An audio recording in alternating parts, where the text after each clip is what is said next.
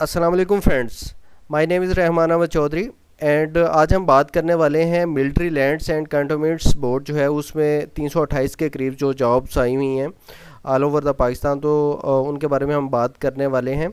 तो ये तकरीबन 328 के करीब जॉब्स हैं और ये बेसिक पे स्केल 17 से लेके बेसिक पे स्केल 10 तक ये वाली जॉब्स जो हैं, वो अनाउंस की गई हैं, ठीक है? तो इस तरह से जितने भी लोग हैं, चाहे वो मास्टर से लेके मैट्रिक तक जो तालीम रखने वाले लोग हैं, उनके लिए एक अच्छी अपॉर्चुनिटी है जॉब हासिल करने के लिए। तो काफ़ी ज़्यादा सीट्स हैं तो उम्मीद है आप इस मौका से जो है वो भरपूर फ़ायदा उठाएँगे।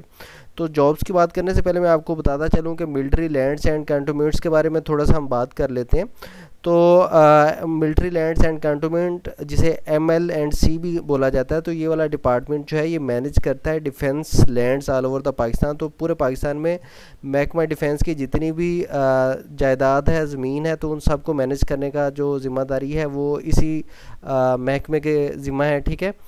और it is an attach department of ministry of defence government of Pakistan तो आप कह सकते हैं कि ये मिनिस्ट्री ऑफ़ डिफेंस जो है उसी का एक झैली इदारा है, ठीक है? मतलब कि ये गवर्नमेंट इदारा ही है।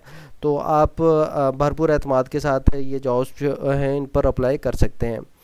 तो जॉब्स को अप्लाई करने के लिए जो है, अगर हम जाएँ यहाँ पे करियर में जाएँ तो यहाँ पे हमें जॉब्स का एक टैब नज़र आ रहा है। तो अगर हम उस पर क्लिक करें तो ये हमें क्या करेगा? ये हमें यूटीएस की वेबसाइट पर ले जाएगा, ठीक है? तो यूटीएस जो है वो हमारे पास एनटीएस की तरह का एक आ, आ, टेस्टिंग सर्विस है ठीक है? यूनिवर्सल टेस्टिंग सर्विस तो हम वहाँ पे जाके जो है वो अप्लाई कर सकते हैं। तो अभी जब हमारे पास ये ऑफिशियल वेबसाइट हमारी ओपन हो जाती है, ठीक है? तो आप यहाँ पे देख सकते हैं कि अप्लाई करने के लिए आपको U T S dot com dot P K पर जाना पड़ेगा, ठीक है?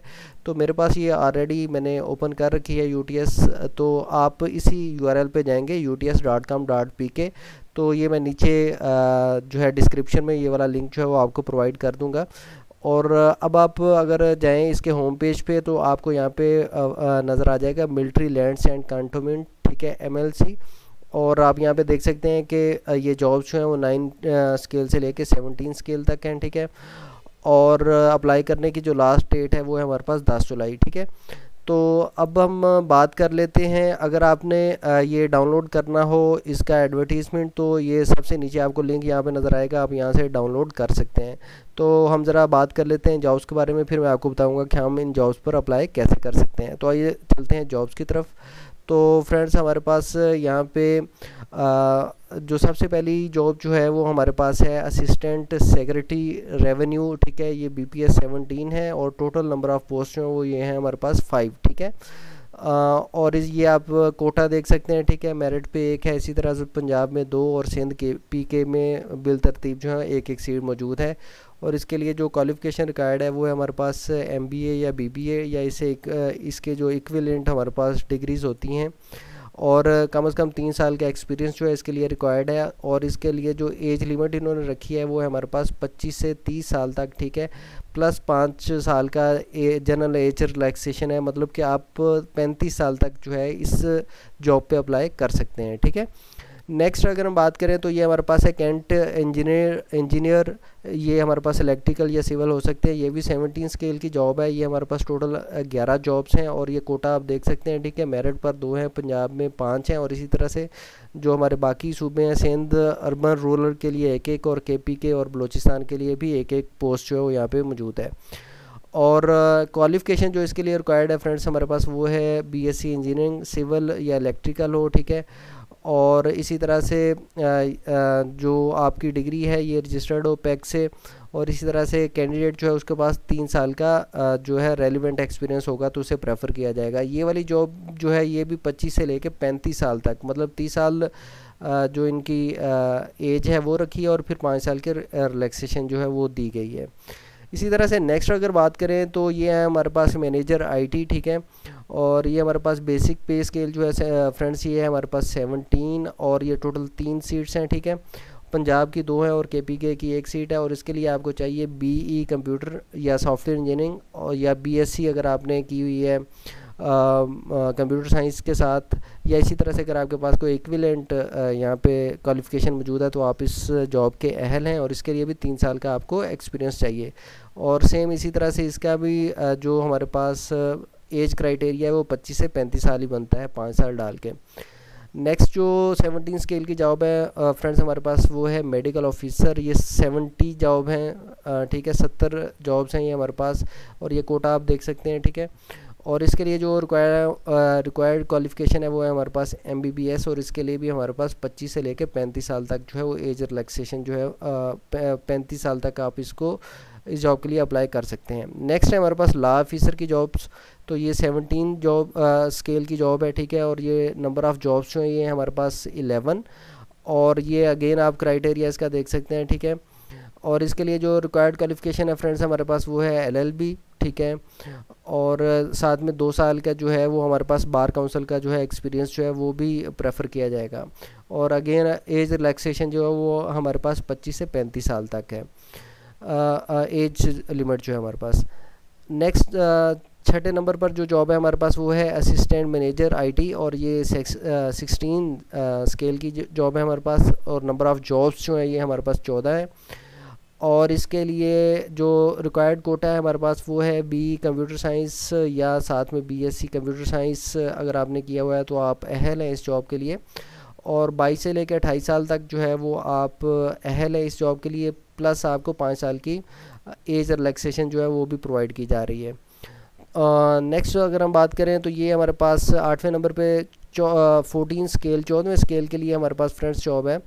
तो ये वाली जॉब जो है फ्रेंड्स ये है हमारे पास असिस्टेंट रेवेन्यू सुप्रीडेंट या assistant land superintendent assistant office superintendent assistant accountant की ये जॉब्स हैं। ये हमारे पास हैं नंबर ऑफ़ जॉब्स हैं हमारे पास फ्रेंड्स 21 ठीक है? ये कोटा आप देख सकते हैं यहाँ पे, ठीक है?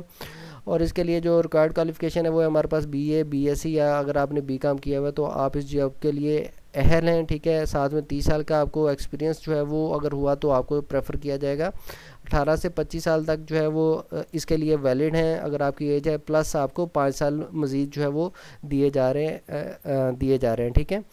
तो फ्रेंड्स अगर हम नेक्स्ट बात करें तो जो हमारे पास नेक्स्ट जॉब है, यहाँ पे वो है हमारे पास असिस्टेंट पब्लिक रिलेशन ऑफिसर की चौदहवें स्केल की ये वाली जॉब भी है और नंबर ऑफ़ जॉब्स हैं दस हैं और यहाँ पे आप इसका कोटा जो है वो आ, वीडियो को पास करके देख सकते हैं। और अगर हम इसकी क्वालिफ़िकेशन रिक्वायर्ड क्वालिफ़िकेशन की बात करें तो ये हमारे पास bachelor degree in public relation journalism mass communication ठीक है? और इसके साथ आपको कंप्यूटर का नॉलेज भी होना चाहिए मतलब ऑफ़िस वगैरह जो बेसिक आपके पास नॉलेज होना चाहिए प्लस आपके पास किसी रिकग्नाइज्ड इंस्टीट्यूट जो है, वहाँ से आपके पास सर्टिफिकेट होना भी इस जॉब के लिए लाजमी है, ठीक है? और साथ में जो कैंडिडेट जो है, उसके पास तीन साल का अगेन एक्सपीरियंस मांगा गया है, और यहाँ पे जो हमारे पास अगेन जो एज रिक्वायर्ड है, वो है अठारह से लेके पच्चीस साल प्लस जो है वो पाँच साल की एज रिलैक्सेशन जो है वो इसमें प्रोवाइड की गई है। अगर हम दसवें नंबर वाली जॉब पे बात करें तो ये है फ्रेंड्स हमारे पास कैंट ओवरसियर ठीक है? ये सिविल या इलेक्ट्रिकल जिन लोगों ने यहाँ पे डिप्लोमा किया हुआ है, वो इसके लिए अहल होंगे, सारी बात है। और 19 जॉब्स हैं इसकी कोटा अगेन आप यहाँ पे देख सकते हैं। और यहाँ पे रिक्वायर्ड क्वालिफ़िकेशन जो है वो है हमारे पास थ्री इयर्स डिप्लोमा जो है वो हमारे पास होना चाहिए और वो डिप्लोमा आपके पास सिविल या इलेक्ट्रिकल में होना चाहिए, ठीक है? या अगर आपने बी किया हुआ है तो तब भी आप इस जॉब के लिए अहल है या आपने बी एस सी या बी ई किया हुआ है, ठीक है? विद इक्विलेंट मिनिमम ग्रेड्स ठीक है? तो तब भी आप इस जॉब के अहल हैं और कैंडिडेट जो है उसके पास तीन साल का एक्सपीरियंस भी होना चाहिए। एज जो है वो 18 से 25 और साथ में पाँच साल की रिलैक्सेशन जो है वो आपको दी जा रही है। नेक्स्ट है फ्रेंड्स ग्यारहवें नंबर पे रिसेप्शनिस्ट की जॉब है हमारे पास। ये टोटल पच्चीस जॉब है, ठीक है?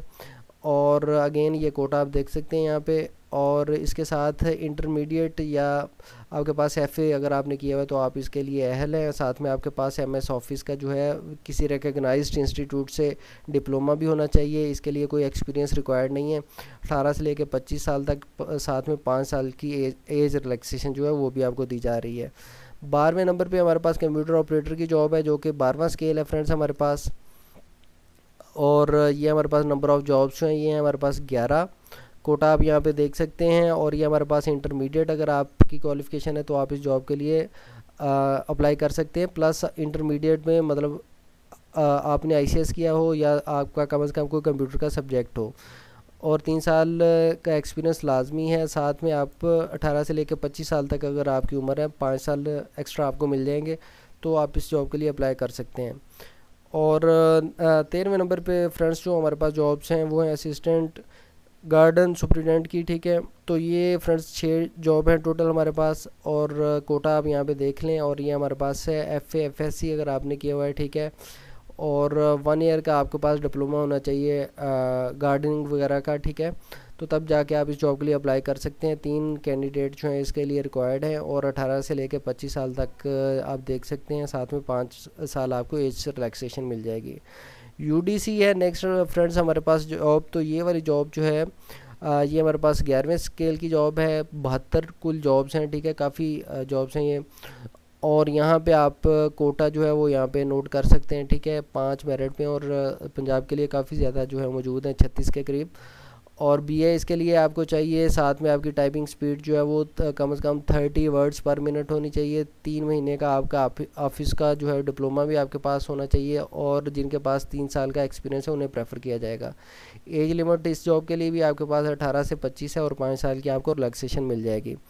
नेक्स्ट अगर फ्रेंड्स हम बात करें तो आ, हमारे पास जॉब है जूनियर कंप्यूटर ऑपरेटर की दसवें स्केल की ये जॉब है ठीक है?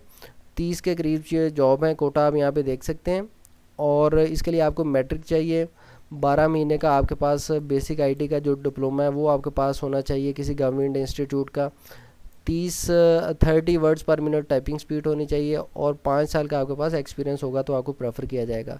इस जॉब के लिए भी आपके पास अठारह से लेकर पच्चीस साल तक जो है, वो आपकी एज लिमिट होनी चाहिए। पाँच साल का आपको एक्सपीरियंस मिल जाएगा।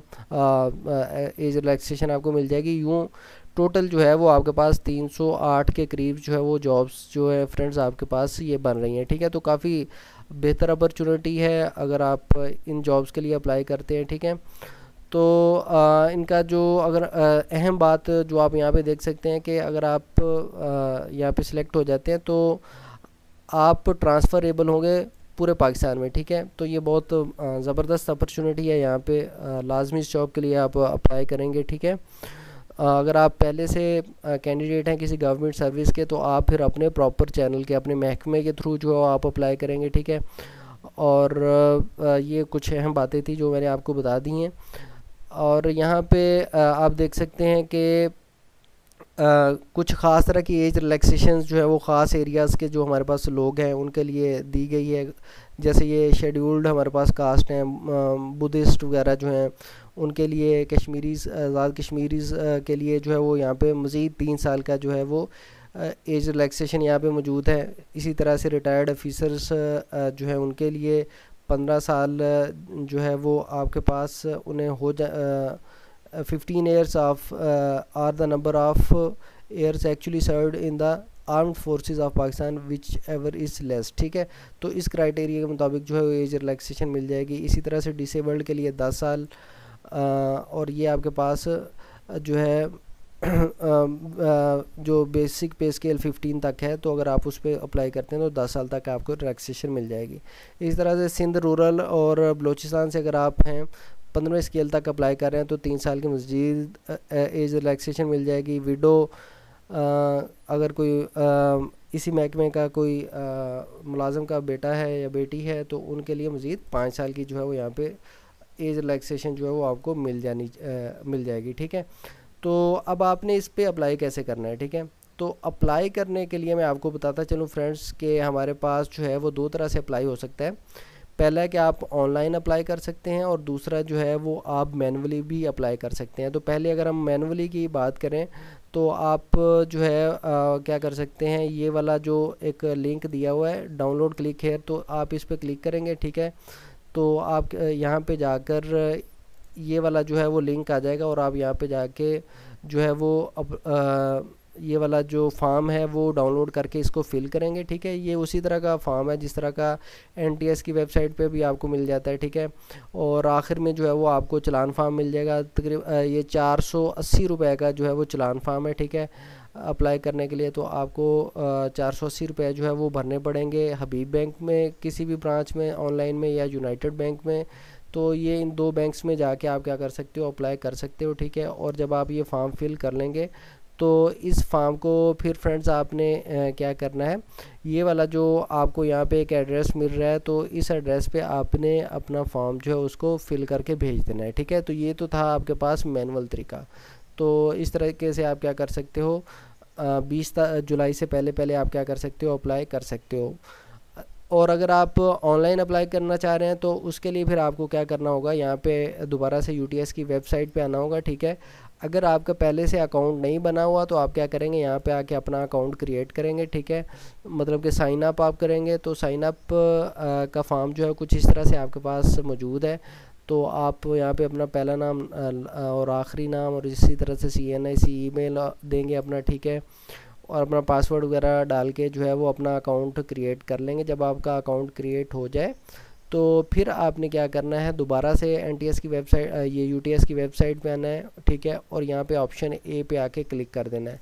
जब आप ऑप्शन ए पे आके क्लिक करेंगे तो यहाँ पे फिर आपने जो ऑलरेडी आप यहाँ पे आके अकाउंट क्रिएट करके आए थे उसी अकाउंट की डिटेल जो है वो आपने यहाँ पे देनी है, ठीक है?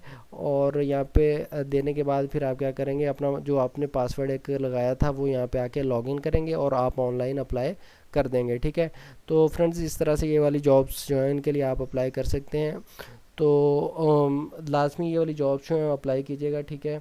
मज़ीद इस बारे में अगर कोई आपको रहनमाई की ज़रूरत हो तो नीचे कमेंट्स बॉक्स ओपन है तो उसमें आप जो है आप लाजमी कमेंट कीजिएगा।